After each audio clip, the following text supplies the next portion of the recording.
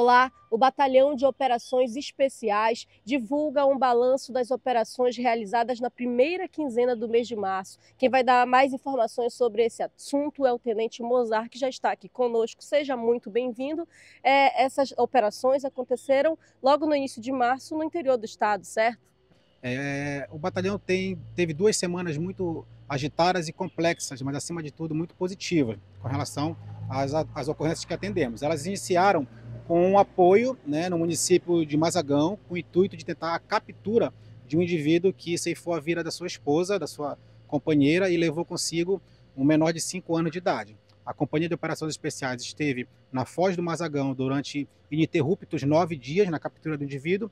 Infelizmente não lograram êxito, mas vale ressaltar o comprometimento desses policiais que agiram é, em um ambiente muito hostil, que é a área de mata, é, e as buscas ainda continuam no sentido de capturar esse indivíduo. E teve ação também aqui na capital. Tivemos uma ação que iniciou esta semana, é, na terça-feira, com a companhia de giro, é, na localidade de Ressaca da Pedreira. Né? Tivemos informações que um local estaria armazenando, né, com, com, com a ajuda de, de, de infratores, estaria armazenando armas de fogo com o objetivo de realizar crimes. Né? A equipe do giro foi até essa localidade, identificou o local. É, no local havia um suspeito que estava fazendo a segurança desses armamentos. É, houve troca de tiros, a policial foi recebida com tiros pelo infrator. O indivíduo foi atingido, tentou se evadir do local e na área de mata foi localizado é, com disparo de arma de fogo, com a arma que utilizou contra a vida dos policiais. Todos tiveram a sua integridade física é, preservada, acionaram o socorro de urgência e o indivíduo veio a óbito. E o BOP também tem dado apoio em ações de outras forças de segurança?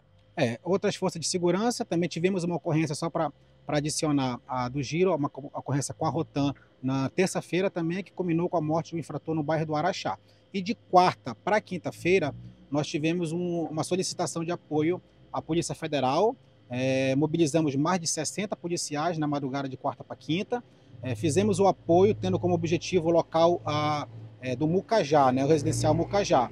A Polícia Federal fez a operação, logrou êxito na apreensão de algumas armas de fogo que foram apresentadas e na madrugada, na noite de, de quinta para sexta, amanhecendo quase o dia, tivemos uma crise com refém no município de Santana, e na qual também ah, os nossos negociadores eh, lograram 100% de êxito, de êxito, mantivendo a preservação da vida tanto da vítima quanto do infrator, e a ocorrência foi apresentada por uma equipe do município de Santana, que foi o primeiro interventor da crise. Lembrando que o BOP está sempre dando apoio, né? mas que também é importante que a população faça denúncia quando necessário. Sim, a ocorrência da ressaca da pedreira foi uma denúncia. Né? Na verdade, as duas, tanto a da ressaca da pedreira quanto o bairro do Araxá. Então é muito importante né, informar, a população informar através do nosso Disque Denúncia é, os criminosos locais que possam estar utilizando para a prática de crimes e essas pessoas terão com certeza o sigilo absoluto da sua identidade.